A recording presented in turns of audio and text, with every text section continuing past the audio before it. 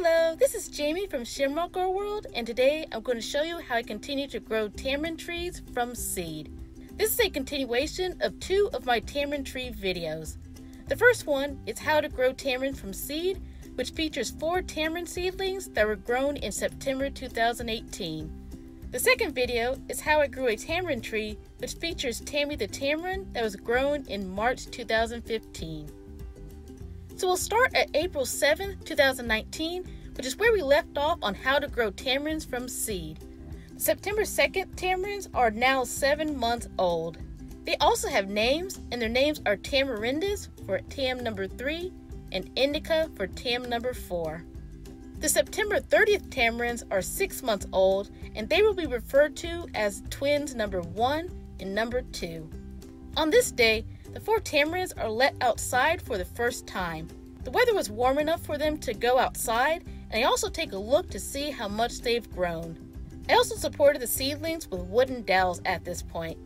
Here, the four tamarinds are with their big sister Tammy as she recovers from a troubling winter. On May 12th, I take a closer look at Tammy. I repotted Tammy back on March 23rd, and she has now grown all of her leaves back. Now that Tammy is getting bigger, I start to consider pruning her. I don't know how to prune trees, but I knew it would be beneficial to control and form the new growth.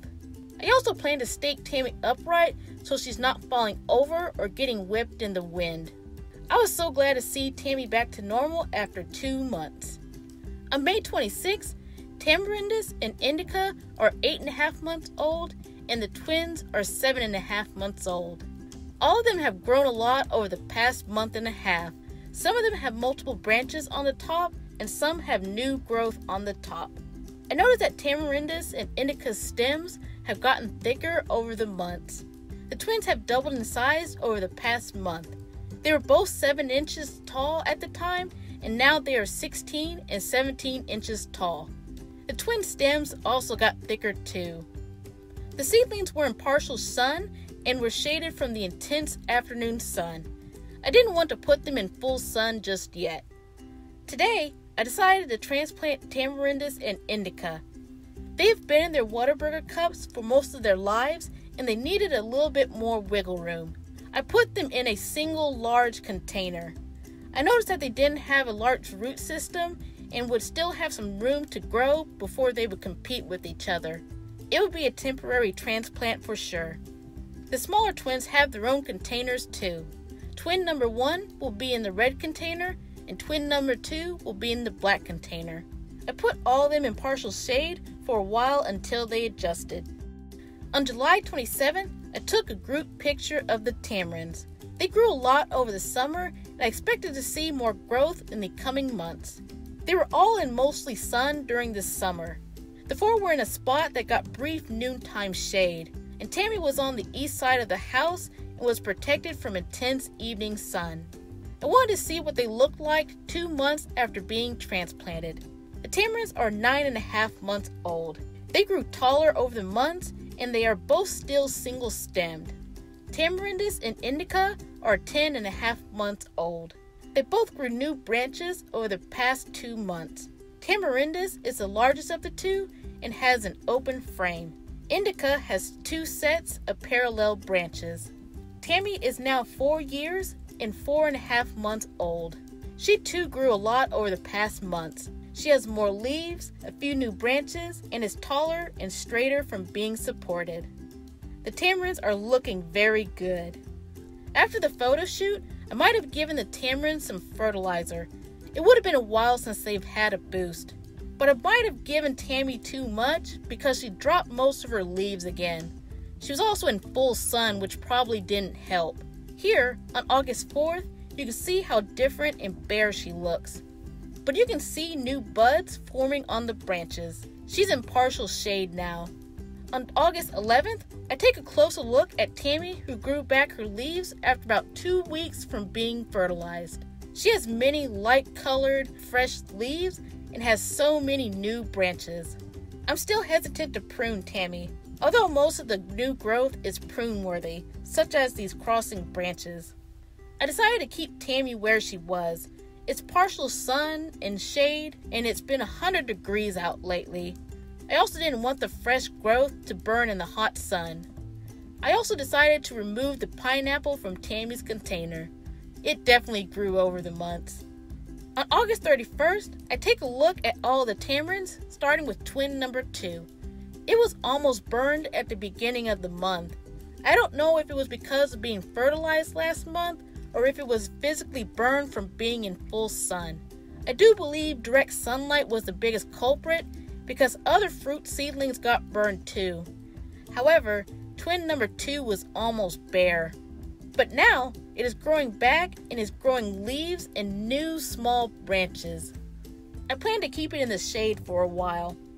Twin number one is in another spot in the shade too. The twin tamarinds are in full shade to recover and be protected from the intense sun.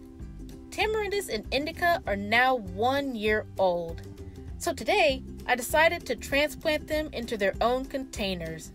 The root balls were small but now they can grow without competition. Here, the three oldest tamarinds are together. They will stay in partial shade while tamarindus and indica adjust in their new containers. They have many more weeks to grow in the warm Texas weather.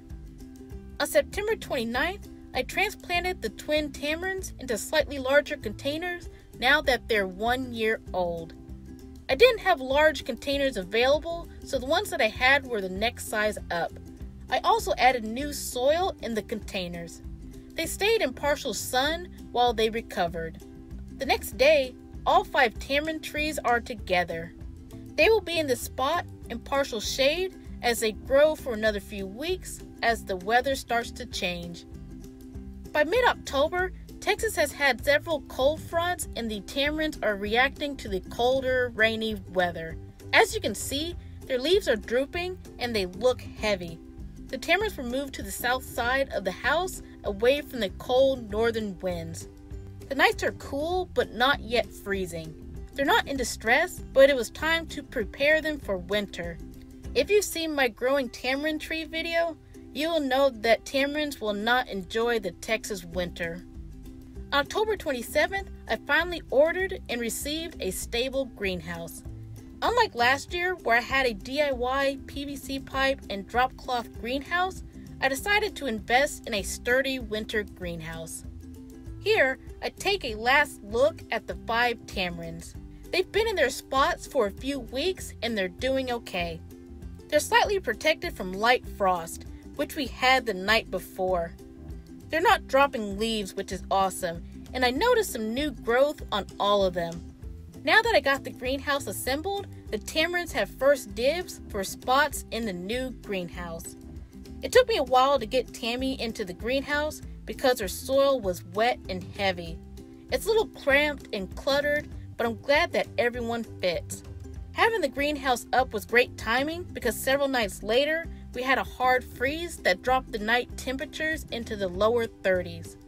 The tamarinds and the rest of my plants will be protected from winter. As you can see, many things have happened over the years for the tamarinds. Young tamarinds were transplanted several times throughout the spring and summer. Shortly after they were transplanted, they were fertilized.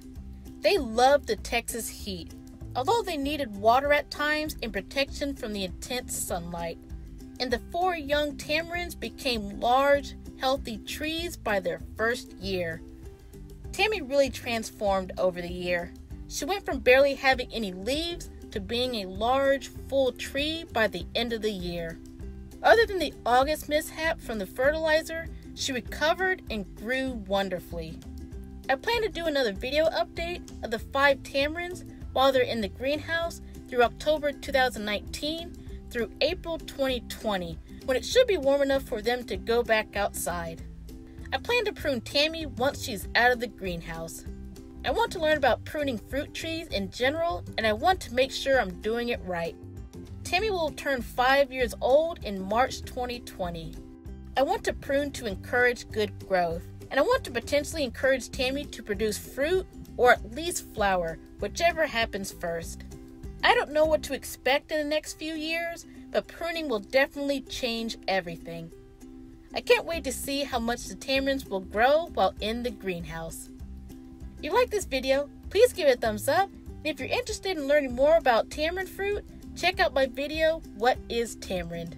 And don't forget to like and subscribe to my channel and ring the notification bell for more videos about exotic fruits, growing exotic fruits, gardening, outdoor crafts, and more. Thank you.